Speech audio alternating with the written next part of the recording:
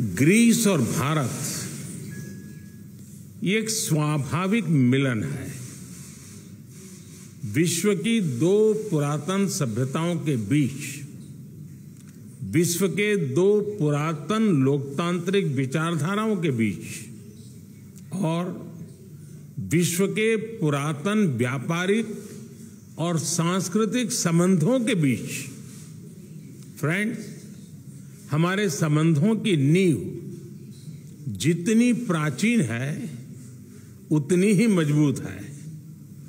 विज्ञान, कला और संस्कृति सभी विषयों में हमने एक दूसरे से सीखा है। आज हमारे बीच geopolitical, international और रीजनल विषयों पर बेहतरीन तालमेल है। चाहे वो इंडो पैसिफिक में हो या मेडिटेरेनियन में हो दो पुराने मित्रों की तरह हम एक दूसरे की भावनाओं को समझते हैं और उनका आदर करते हैं।